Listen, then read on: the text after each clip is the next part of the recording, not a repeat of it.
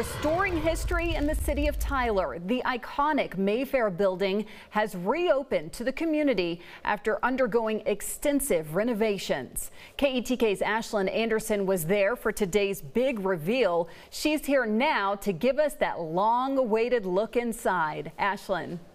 Casey, the city has transformed the dance hall into a state-of-the-art venue, but also stayed true to its nearly century-old roots with relics of the past found throughout the building. Take a look.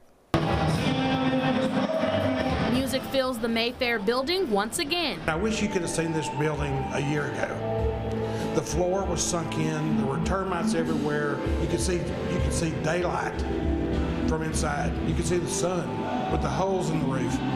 So uh, we have brought this back to life.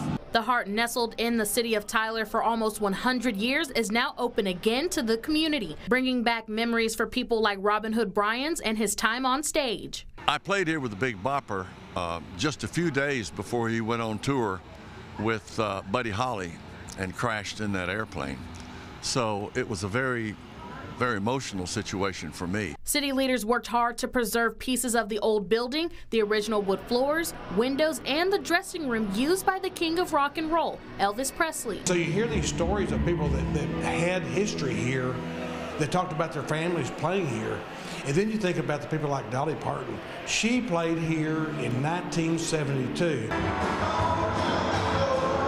Hood says he's excited to see people hit the dance floor just like the good old days. This Mayfair building has, it could tell stories that, uh, that would curl your hair. A place he thought would never survive the test of time is now on the National Register of Historic Places.